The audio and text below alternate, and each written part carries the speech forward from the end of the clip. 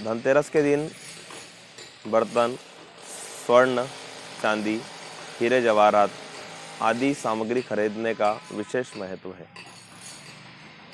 और इस दिन भगवान की मूर्तियाँ पीतल की चांदी की स्वर्ण की यह सब सामग्रियाँ खरीदी जाती है। बर्तन खरीदने का क्या धार्मिक महत्व है बर्तन खरीदने का विशेष महत्व है। बर्तन खरीदने से इस इस दिन जो हम बर्तन खरीदने भले छोटा सा बर्तन खरीदे पर इसका बहुत पौराणिक मान्यताओं में महत्व तो बताया गया है। इसी कारण हम बर्तन खरीदते हैं। इसकी कुछ कथा वगैरह?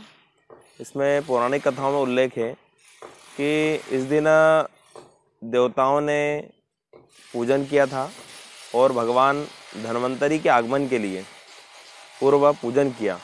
और इस दिन अनेक प्रकार से देवताओं ने, स्तुति की, समस्त देवताओं ने मिलकर के समुद्र मंथन किया। इसमें समुद्र मंथन की कथा को उल्लेख है। समुद्र मंथन किया, समुद्र मंथन के उपरांत भगवान धन्वंतरी जी प्रकट हुए।